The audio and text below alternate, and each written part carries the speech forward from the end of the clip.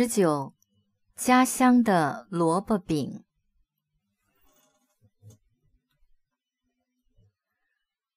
家乡，萝卜，怀念，色彩，想念，青，紫，赏心悦目，斑，清淡，可口，夸，橘子，梨，炒。煮、油炸、切、丝、搅拌，均匀。原料：擀、薄、折叠、透明、淋、圈、烫、盖。预防糊文火文称口味家乡的萝卜饼。家乡的众多美食中，萝卜饼是最让我怀念的。它那丰富的色彩，微甜的口感，至今。仍让我十分想念。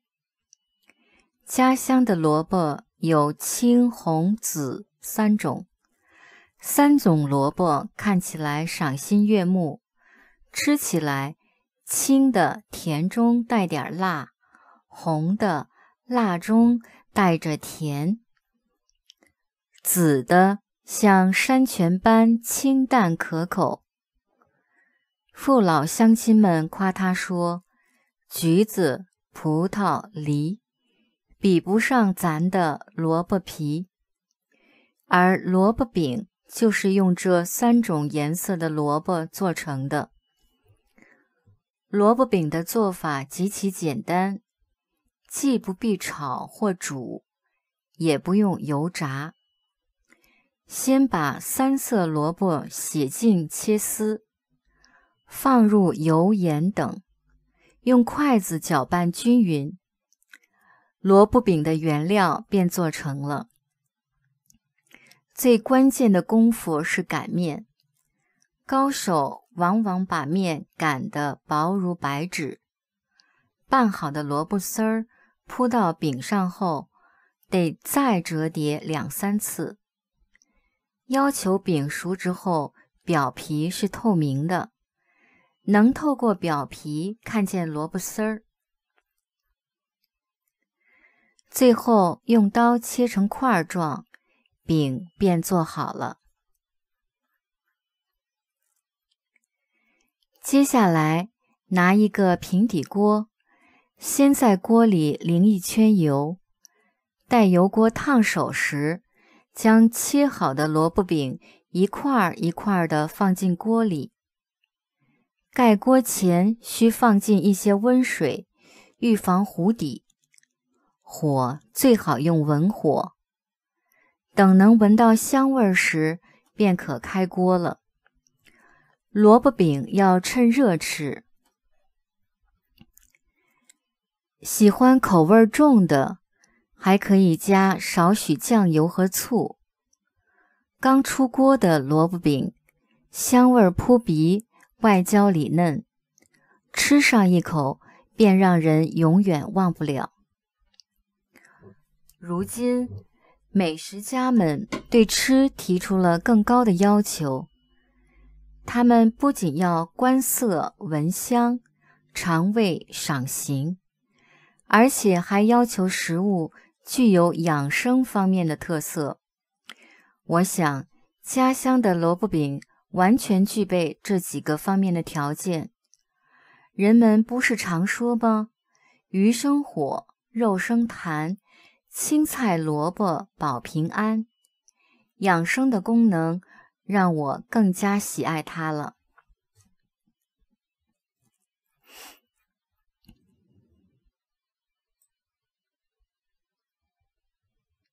斑，紫的像山泉般清淡可口。说起那段往事，他的脸上露出了阳光般的笑容。望着爸爸远去的背影，我的眼泪雨点般不停的往下掉。他在下半场的进球，为球队赢得了一场像金子一样宝贵的胜利。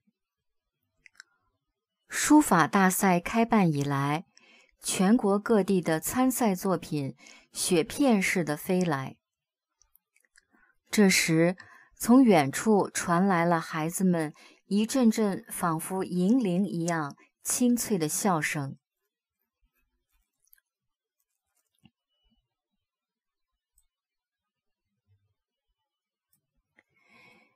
你们到各地去旅游，一定会增加对中国的了解。老话说：“百闻不如一见。”邻居们闻声赶来，纷纷跳入水中，救起了落水的小海。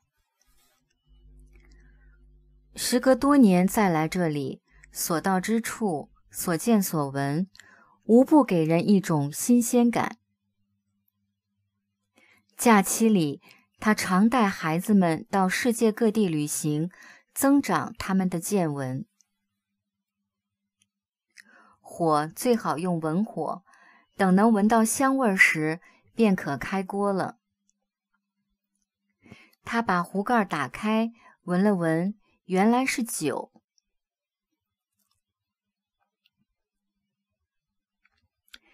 一进村口，我们就闻到了清风送来的浓浓的玫瑰花香。说起他到上海留学的事儿，还真有一段奇闻趣事呢。对人们的种种批评，他采取了听而不闻的态度。趁着这几天休息，我们去看看房子吧。趁电影还没开始，我们去买两瓶矿泉水。萝卜饼要趁热吃，喜欢口味重的，还可以加少许酱油和醋。李老师退休了，天阴了，工作这么稳定，你又干得不错，怎么会想到辞职呢？丰富一下自己的经历。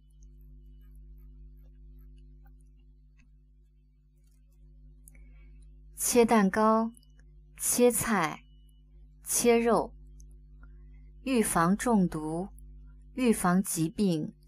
预防感冒，预防灾害。美丽的色彩，时代的色彩，神秘的色彩，主观的色彩，感情色彩，民族色彩，喜剧色彩，中国的特色，作品的特色，共同的特色。基本的特色，主要的特色，搅拌均匀，翻炒均匀，烫红，烫熟，烫软，烫破，盖好，盖严，盖紧，盖上盖子。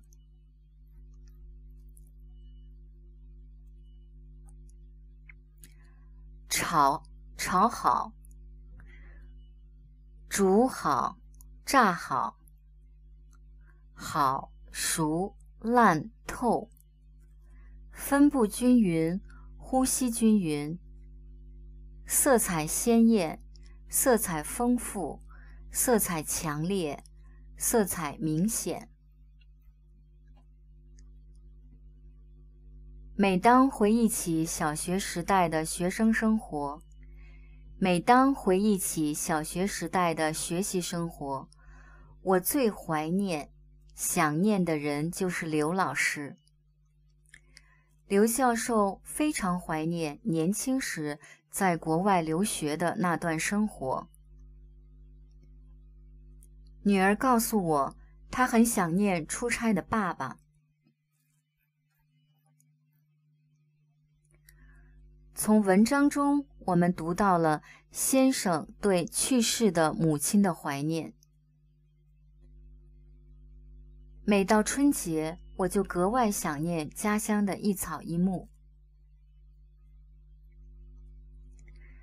在南方的时候，我总是想念北方雪花飘飘的美景。在国外工作的那段时间，他时时刻刻都在想念着家人。一阵清风送来桂花的清香，令我想念起自己的家乡。在楼房里住了十多年后，老李却开始怀念起住在四合院里的生活。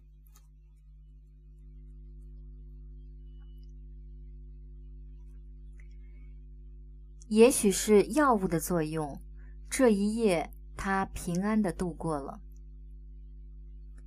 最后，我们用酱油、白糖、味精等做成汁。均匀的浇在鸡肉上就做好了。饭菜很清淡，也很平常，却给我留下了极深的印象。请你给我们推荐几个你们这儿的特色菜吧。研究发现，常吃胡萝卜能起到保护眼睛、预防近视的效果。此菜的特点是色彩美观、咸鲜滑嫩、味香可口、营养丰富。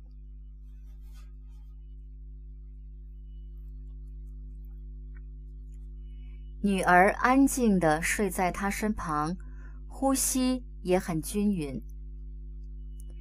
尽管这话里感情色彩很重，但也不是没有道理。等我们从天津回来时，才听说他出国的事。了解李阳的人都说，李阳最大的特点就是胆大敢干。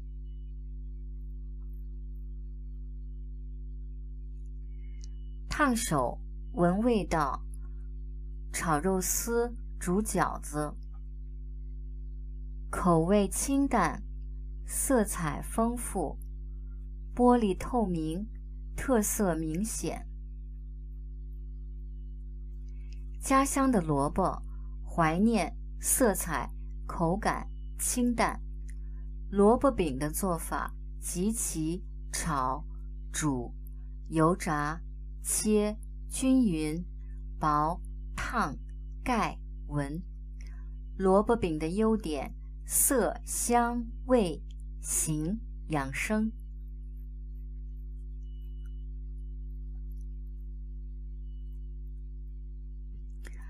龙井茶是绿茶，冲泡三四遍后，颜色和味道就变淡了。这种鲜牛奶保质期只有四天，这袋已经过期好几天了。你下班时顺路带点零食吧，明天去公园玩，丽丽肯定会要的。湖南长沙当地。有种用豆腐制作的美食，看上去黑黑的，闻着也有股臭味儿，但吃起来味道棒极了。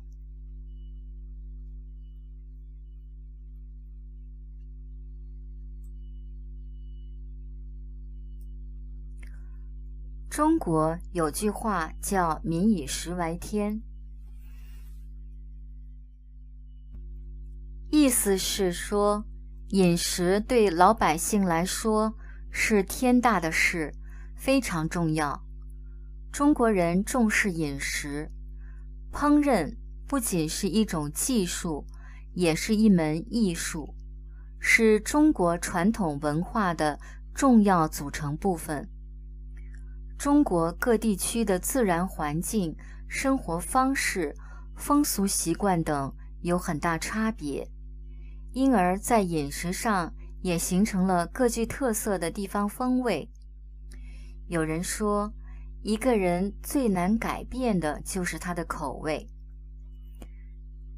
所以要想了解一个地方的人，你必须先了解他们的胃。如果你正在中国留学或旅行，那就请你去吃吃当地的美食吧。你不仅可以尝到各种美食，更可以感受到生活在那里的中国人的五味人生。中国菜，你喜欢什么口味的菜？不喜欢什么味道的菜？你比较喜欢哪些中国菜？你学过做中国菜吗？学的是什么菜？你能介绍一下这个菜是怎么做的吗？